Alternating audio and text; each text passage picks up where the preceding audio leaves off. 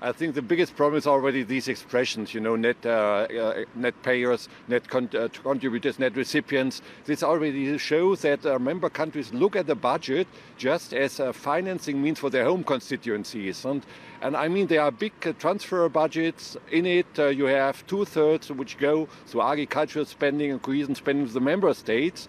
So governments really fight for this money. So they want to get out of it as much as possible. And this is a tragedy because a truly European perspective would ask which are the big European challenges. This is not necessarily the money flowing back in my home country. Based on what you just said, what are the risks that the EU leaders are actually mishandling these negotiations and fostering populism back home? Yeah, um, I mean, there's a risk uh, populi for populism on both sides. On the, on the side of the richer countries, the risk is that uh, voters might think this is unfair treatment, we pay too much. On the side, you know, of the poorer countries, of the agricultural countries, the risk that they say we don't receive sufficient money, there's not sufficient solidarity.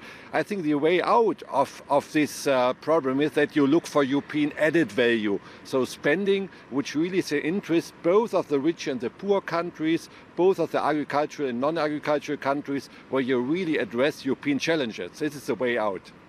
When we look at the latest proposal from uh, the Council, and this is the number that the leaders will be looking at later today, uh, the President Charles Michel proposes 1.074% of GNI going forward.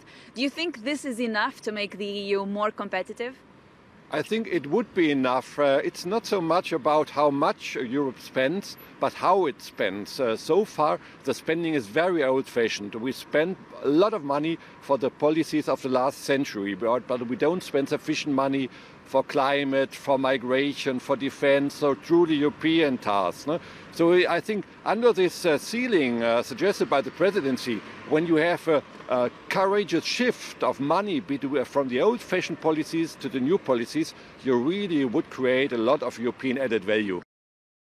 Hi, I'm Joumanna Bercetche and thank you for watching. You can check out more of our videos by clicking on the boxes on the screen. And don't forget to subscribe to our channel for more from CNBC International. Thank you for watching.